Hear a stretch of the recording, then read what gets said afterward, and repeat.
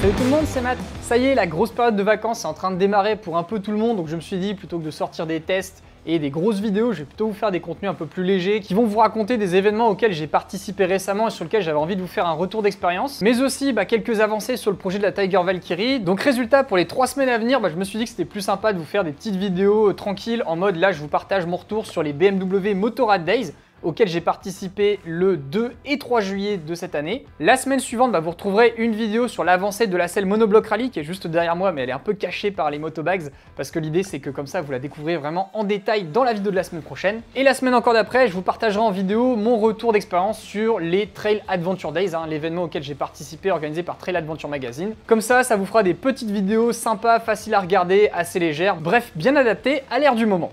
Donc je disais, les 2 et 3 juillet, j'étais présent au BMW Motorrad Days. J'avais été invité par Lone Rider, hein, voilà, qui est un partenaire de la chaîne depuis déjà quelques mois. Encore merci à eux de me soutenir, car grâce à leur aide, ça me permet comme ça, en partie, hein, je dis bien en partie, bah, de me permettre de continuer à faire vivre cette chaîne de manière indépendante. Donc c'est vraiment cool, je sais, il y en a, ils vont dire l'indépendance, t'es avec une marque, gna gna Ouais, enfin, si j'ai choisi d'être partenaire de cette marque, c'est parce que justement je la trouve pertinente et intelligente, dans le sens où je trouve que leurs produits sont vraiment solides et bien pensés pour mon usage, et aussi parce qu'ils me laissent tester d'autres choses. Je pense par exemple à mon test très récent des SW Motech Trax ADV, je vais aussi sortir le test des 6 bags de chez SW Motech, Bref, ils m'empêchent pas du tout de tester quoi que ce soit. Et j'aime bien cette intelligence et cette liberté qu'ils me laissent parce que ça montre bien que je suis avec eux par choix et non par obligation. C'était un court aparté hein, pour calmer tout de suite les Jean-Bernard, Émile, Roger, Didier qui vont essayer de me faire des commentaires relous et sur lesquels je vais perdre du temps. Au moins là, on en gagne pour tout le monde. Sur ce, bah, je vous propose qu'on décolle maintenant pour Berlin, puisque ça se situe à Berlin, donc j'ai pris le train le 1er juillet. Et résultat, j'arrive le vendredi soir, je rencontre toute l'équipe Lone Rider qui était sur place, donc ça c'était trop cool. Et il y avait aussi quelques autres personnes que vous connaissez peut-être, à savoir Tom Barrer, hein, qui était présent aussi. Et on était là en fait tous les deux pour répondre aux questions en fait des gens sur le matériel Lone Rider et comme ça aider les équipes à gérer l'afflux de monde sur le stand. On avait aussi Tom Leboob hein, qui était présent, que vous connaissez peut-être parce qu'il partage aussi beaucoup tous les voyages qu'il peut faire sur Instagram avec sa 1200 GS. Donc aussi, je vous mets sur Instagram si vous voulez découvrir un petit peu tout ce qu'il fait en termes de voyage.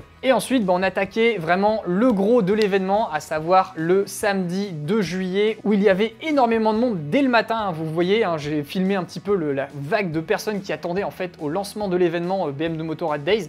Et franchement, bah, on a été assailli toute la journée de monde. Il y avait tout le temps des gens qui posaient plein de questions sur le matériel. Il y avait du monde sur tous les stands. C'était vraiment blindé le samedi. Et euh, bah, c'était cool de voir que l'événement, malgré qu'il ait été transféré de Garmisch à Berlin, c'était quand même bien rempli. Parce que oui, il faut savoir qu'avant, cet événement BMW Motorrad Days se passait pas du tout au centre de Berlin, il était à Garmisch, donc vraiment dans la campagne, euh, dans les montagnes, enfin bref, un truc très cool, un peu dans le style Alpe Aventure Moto Festival. Et en fait, ils ont euh, changé l'événement, ils l'ont mis à cet endroit-là cette année. Pour quelle raison, je ne sais pas trop. Mais de ce fait, c'est vrai que l'ambiance était un peu plus typée euh, urbain, chic, hipster que aventure, montagne et nature, comme ça pouvait être le cas à Garmisch. De ce fait, bah, du samedi, j'ai pas eu le temps de vous filmer grand chose parce qu'on a passé notre temps à répondre aux questions des gens. Il y avait beaucoup de monde qui était curieux sur les motobags pour savoir comment ça fonctionnait, les systèmes d'attache, les nouveaux produits qui étaient présents. Donc malheureusement, j'ai pas pu trop vous filmer tout ce qu'il y avait sur l'événement le samedi. Mais clairement, le dimanche, bah, ça n'a pas été la même histoire. J'ai eu largement le temps de faire tous les stands puisque comme vous pouvez le voir... Bon bah le dimanche, euh, je pense que les Allemands sont plutôt partis rouler que sortir. Hein. Il n'y a pas beaucoup de monde. Hein. Ou juste pas venu peut-être. Ouais. Ou juste pas venu, ouais. Bon. On a eu plus de monde samedi, mais bon, c'est pas grave, au moins on a le temps de discuter entre nous, de, parler produits, enfin voilà. Heureusement qu'on n'est pas tout seul, parce que sinon on pourrait, j'avoue, un peu s'ennuyer. Bref, voilà, vous voyez, hein, il y avait tellement pas de monde sur le dimanche que résultat, j'ai pu me filmer euh, tranquillement. Euh, il n'y avait pas de bruit derrière, ça passait largement. Donc résultat, j'en ai profité pour faire un peu le tour de l'événement, pour voir tout ce qu'il y avait. Et forcément, qui dit BMW Motorrad Days dit BMW au global. Donc vous aviez BMW vraiment monde qui était présent en force. Il y avait plein plein de bâtiments dédiés à BM dont un où c'était un peu le temple BM. Vous pouviez monter sur absolument tous les modèles, que ce soit les sportives, les scooters, les adventures, il y avait aussi des modèles euh, anciens. Il y avait aussi les motos du GS Trophy avec le kit déco qui était présent. Il y avait même le Ineos Grenadier, le fameux 4x4 de chez Ineos que je rêverais de m'acheter un jour. Mais bon, il est tellement cher que je risque probablement pas de l'avoir. Et il faut savoir que ce 4x4 sera présent pendant le GS Trophy, ça va être le 4x4 d'assistance, puisque BMW n'a pas vraiment de vrai gros 4x4 comme Mercedes avec le classe G. Et dans cette grande zone BMW, il y avait voilà un peu de tout, il y avait aussi des voyagistes, il y avait des trucs un peu insolites, comme cette énorme BMW S1000RR en Lego, donc on connaissait la petite S1000RR en Lego technique, parce que vous pouvez l'acheter et la monter tranquillement chez vous. Par contre, celle d'à côté, c'était pas la même histoire, il hein. faut voir le nombre de briques, d'heures et le poids de la machine. Je vous montre là sur l'image, toutes ces caractéristiques, c'est juste hallucinant.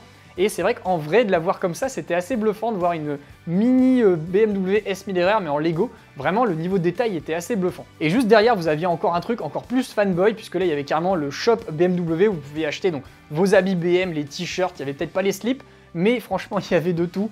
Donc pour les gens qui sont ultra accro BMW, ça faisait vraiment plaisir, je pense. Et après, si on sortait du bâtiment BMW, puisque vous voyez, c'était disposé en deux bâtiments, il y avait d'un côté toutes les marques, avec donc Lone Rider, SW Motec, Wunderlich, Rad Garage, il y avait aussi plein de fabricants de pièces super haut de gamme pour de la course avec des BMW S1000RR. Donc il y avait globalement toutes les grosses marques importantes pour BMW qui étaient présentes à l'événement, avec bien sûr que des BM sur tous les stands, hein. vous n'alliez pas avoir une KTM ou une Triumph. Et après, sur la partie extérieure, vous aviez encore plus de stands, avec beaucoup, beaucoup de préparateurs allemands. Et il y avait pas mal de petites prépas assez folles, hein, dont notamment celles qui étaient dans le grand hall d'entrée. Donc là, je reviens un petit peu à l'intérieur, c'était vraiment le hall d'accueil. Il y avait des prépas sur des BMW R18, des trucs vraiment de la folie, enfin genre cette moto là que je suis en train de vous montrer où il y avait euh, carrément la fourche euh, complètement sur mesure usinée en aluminium avec un amortisseur à l'avant comme un, un télélever. Enfin bref, il y avait des trucs de prépa complètement fous. Moi qui bosse en fait maintenant pas mal sur de la création de pièces pour la moto là sur ma Tiger, bah là quand j'ai vu ça j'étais complètement fou de voir le niveau de détail et d'usinage de certaines pièces, c'était vraiment du très grand art, clairement il n'y avait pas d'autre mot à dire. Et donc bah voilà pour cette partie euh, customisation, personnalisation qu'on pouvait trouver sur place. Il y avait aussi donc toute la partie concert où il y avait donc régulièrement des animations toute la journée. C'était pas très rempli d'ailleurs, les gens n'allaient pas trop là pour regarder un petit peu les interviews, donc euh, je pense que les gens qui faisaient les interviews devaient se sentir un peu seuls. Et le soir il y avait des concerts à cet endroit-là. Et enfin il y avait aussi quelques bagnoles hein, avec de la BMW série 3, série 4 Grand Coupé. Il y avait leur nouveau break M3 Touring là qui est censé concurrencer un peu tout ce qui est les RS4, RS6. Donc c'était vraiment sympa à voir parce que c'est des, des voitures que j'avais pas l'occasion de voir en vrai. La BMW série 3 CSL qui est complètement folle avec du carbone partout. Il y avait une dernière animation que malheureusement j'ai pas pu faire parce que ça s'est rempli en deux secondes mais ça devait être super intéressant. C'est qu'ils proposaient de s'inscrire gratuitement pour aller visiter l'usine BMW qui se trouve à Berlin. Et en fait, il fallait s'inscrire le matin, puis on prenait un bus l'après-midi qui nous emmenait là-bas et on revenait sur place à l'événement. Malheureusement, ça s'est rempli en 2-2 et nous, forcément, on n'a pas eu le temps d'aller le faire, donc j'ai pas pu vous filmer ce que ça donnait d'aller visiter l'usine BM. Mais en tout cas, pour ceux qui veulent y retourner les années suivantes, ça peut être un truc très intéressant à voir, je pense. Donc voilà un peu pour tout ce qu'on pouvait trouver sur l'événement BM Motorrad Days. Et comme il n'y avait toujours pas beaucoup de monde le dimanche après-midi, bah j'en ai profité tout simplement pour vous faire une petite vidéo sur les grosses nouveautés qu'il y avait chez Lone Rider, dont une qui m'a vraiment interpellé et que j'ai vraiment envie d'essayer, ce sont les Motopegs, mais ça je vous explique là directement dans la vidéo. Et je profite du salon pour vous montrer une nouveauté là chez Lone Rider que j'ai trop trop hâte de tester, ce sont les Motopegs, donc en gros ça y est ils lancent leur premier euh, repose-pied, mais là ils essayent d'apporter bah, quelques petites nouveautés euh, sur le marché. Donc eux leur principe c'est qu'ils ont essayé de faire un système euh, bah, qui tourne un petit peu avec une légère rotation, mais on peut piloter cette rotation grâce à des euh, amortisseurs de, couple, en fait des, petits caoutchoucs là comme on, a des fois sur les, motos, qu'on vient mettre directement donc, dans le repose-pied. Il est énorme en termes de taille, vous voyez, hein. là si je, mets mon, si je mets mon pied dessus, ouais, on être bien avec les bottes de moto, donc ça c'est cool. Et l'autre intérêt de ce système d'amortisseur, c'est que vous voyez, ça fait aussi une rotation euh, du repose-pied, mais c'est clairement pas comme un pivot pegs hein, qui a tendance à vraiment beaucoup bouger d'avant en arrière et qui a pas du tout de niveau de réglage puisque c'est juste un ressort. Là, c'est grâce aux petits amortisseurs qui sont ici sur euh, soft, medium ou hard. Donc vous voyez de ce côté-ci, côté gauche que je vous ai mis à l'image, on est sur le soft et côté droit, euh, c'est l'image avec le hard. On voit vraiment la différence avec le hard, je peux pas pousser aussi loin le pied qu'avec le soft. Donc ça, ça donne voilà, cet effet un peu de rotation qui permet comme ça de plus jouer sur ses appuis un peu plus facilement que euh, justement avec un repose-pied fixe. Clairement, ça plaît ou ça plaît pas, mais ce qui est bien par rapport à des modèles comme les Pivot Peck, je trouve, c'est que bah, si ça plaît pas, qu'on n'aime pas le côté euh, rotation, on dégage en fait les amortisseurs et ça refait un repose-pied fixe. Donc on se retrouve pas à devoir euh, revendre d'occasion le truc qu'on vient d'acheter tout neuf. Donc ça permet comme ça de garder quand même un, un repose-pied qui plaît et puis on peut facilement comme ça changer en fonction de ses envies. Il faut juste démonter avec cette petite vis là euh, le repose-pied. Ça donne accès en fait aux quatre petits amortisseurs qui sont là reliés sur l'axe principal. Et ensuite bah, on a juste à changer les petits, euh, les petits caoutchoucs pour que ça fonctionne. voilà les petits amortisseurs là qui viennent se mettre euh, ici directement. Donc on a les quatre versions. Donc là ici on a le soft, le medium, le hard. Et puis bah, si on veut pas du tout que ça bouge parce que c'est pas notre délire au final, on a carrément les petits systèmes en métal qu'on vient mettre à leur place, comme ça bah, ça ne bouge pas d'un poil. Et bah, il est fourni donc avec le gros caoutchouc qui va bien, qui est monté dessus et qui est amovible sans outils. Voilà, donc là, je le retire, tac, voilà. Et donc, vous voyez, ça laisse place à vraiment un, gros repose-pied. Et l'autre truc que je trouve intéressant, c'est que vous voyez les dents du repose-pied, elles sont pas usinées à même le repose-pied, elles sont vissées dessus. ce qui fait que vous pouvez les changer. Donc si elles sont trop usées ou abîmées, vous pouvez les changer. Et pareil, ils vont fournir une deuxième euh, paire de dents avec pour avoir quelque chose de plus soft si justement vous trouvez que les, les crantages sont trop importants. Donc ça c'est vraiment sympa je trouve euh, comme concept. Je sais pas si moi je vais être le plus gros client du, système d'amortissement parce que justement moi j'aime bien plutôt le truc tout terrain. Et justement bah, pour les gens qui veulent vraiment des modèles très tout terrain, ils ont fait une version qui s'appelle la version euh, Rally où bah, là vous voyez on a ça ici au milieu qui apporte un peu plus de, confort et de rigidité mais ça laisse passer un peu plus la boue. Et là, bah, on a l'autre version, la version Rally. Donc là, celle-là, elle est totalement fixe. Il n'y a pas du tout d'amortisseur euh, à l'intérieur. Donc euh, c'est vraiment un modèle euh, rigide comme on a l'habitude de connaître. Et il y a un énorme trou au milieu. Ce qui permet comme ça bah, de le laisser plus facilement partir la boue quand on fait du tout-terrain. Donc j'avoue que moi, je serais beaucoup plus client de ce modèle-ci.